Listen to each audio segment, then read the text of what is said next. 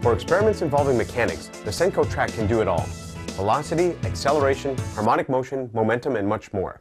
The main component of any good track is a good dynamics cart. We have the plunger cart and the non-plunger cart.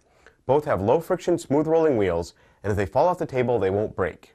If someone were to step on one when it is on the ground, the spring-loaded wheels retreat into the body of the car. No slips, no accidents, and the car is undamaged.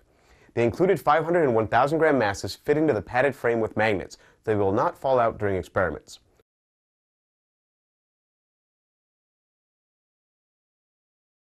Illustrating momentum demonstrations are easy to do whether they are elastic collisions or inelastic collisions.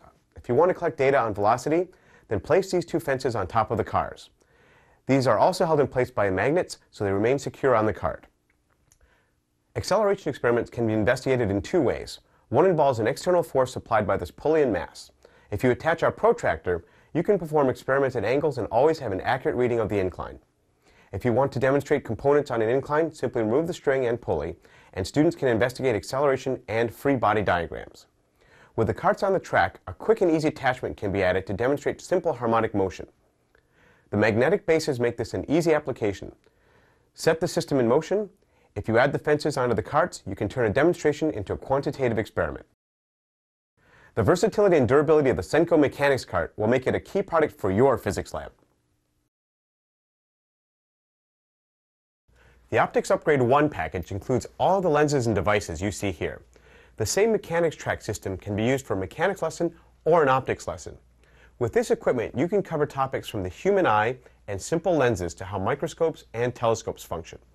The light source attaches to the cradle and either the height or angle can be adjusted. The lens holders help to block stray light with their wide design and have a locking ring which holds the lenses in place. A sturdy white metal screen is the final component to give you the basic setup for an optics experiment. The measuring scale on the sides and top help to keep the readings accurate. With an image source, you can demonstrate the object distance and image distance and how they are related, or use multiple slits to demonstrate diffraction. If the lens formulas are not on the agenda for the day, then you can easily discuss prisms and refraction. For investigations into reflection, refraction, and color mixing, the Optics Upgrade 2 has all of your needs. A 360 degree protractor mount on a support post allows you to place different lenses in the path of light and record accurate measurements. A magnet ensures the lenses will not move during the experiment. The light source allows you to place different screens on the front of the unit. So if you want a single beam for refraction or multiple beams to show convergence, the choices are there for you. Besides the assortment of lenses that can be used, there's also a flexible and flat mirror. Here we can demonstrate a converging or diverging mirror. You can also demonstrate the key law of reflection. You can have the students measure the angle of incidence and reflection. The color mixer takes advantage of the light emanating from the sides of the bulb.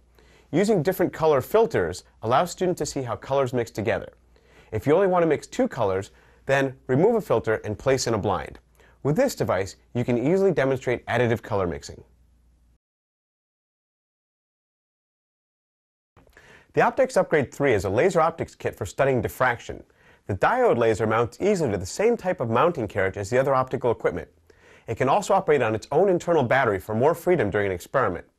There are a variety of gratings offered with a kit. Each has a known spacing between the lines. A set of six have consistent spacing, but with an increasing number of slits. A set of three coarse gratings is also included. A fine metal gauze demonstrates the bidimensional diffraction patterns. The variety of diffraction gratings allows students to see patterns between the number of slits and the spacing of the lines. As an introduction to diffraction, you can ask the students about how the space of the lines affects the diffraction pattern.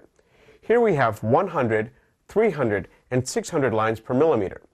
Using the known diffraction gratings, you can perform quantitative experiments to find the wavelength of the laser or the distance between the lines of the wire mesh. As you've seen, the Cenco Mechanics track can be a useful piece of equipment for your classroom, not only during lessons on mechanics, but also during lessons on optics. All of the optics holders can be used among the different optics kits. Since it is Cenco, you know it will last, making a useful investment for your physics lab.